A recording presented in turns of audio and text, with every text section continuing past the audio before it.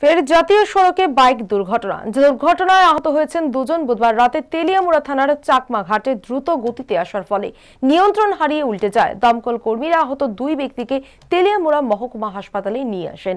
সেখানেই দুজনের চিকিৎসা চলছে।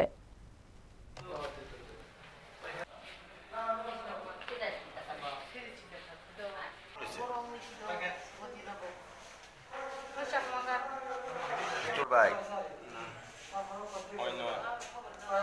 কোনো গাড়ি বাড়ি দিছে তোমরা?